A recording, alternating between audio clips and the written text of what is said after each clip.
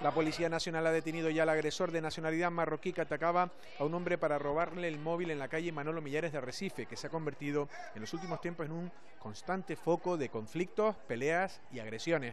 El agresor es un hombre de 30 años de edad, con antecedentes policiales y ha sido detenido como presunto autor de los delitos de robo con violencia y lesiones.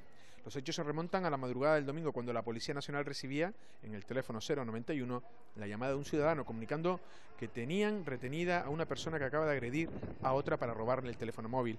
Por todo ello, los agentes de la Policía Nacional lograron, ante la fuerte resistencia ofrecida por esta persona, proceder a su detención como presunto autor de los delitos de robo con violencia y lesiones. El mismo amenazó a los agentes con palabras tales como les voy a pegar el coronavirus, voy a poner una bomba y les voy a matar a todos. Además, los agentes pudieron comprobar que esta persona fue detenida por la Policía Nacional el pasado lunes como presunto autor de los delitos de resistencia y desobediencia grave a los agentes de la autoridad, amenazas y daños. Los funcionarios policiales que acudieron al lugar observaron a un individuo con heridas sangrantes en ambos brazos, por lo que solicitaron asistencia sanitaria. El perjudicado narró a los agentes que el individuo retenido momentos antes le agredió con una botella de cristal rota para robarle su teléfono móvil. El herido, también marroquí, fue trasladado por una ambulancia a un centro hospitalario cercano donde le practicaron varios puntos de sutura.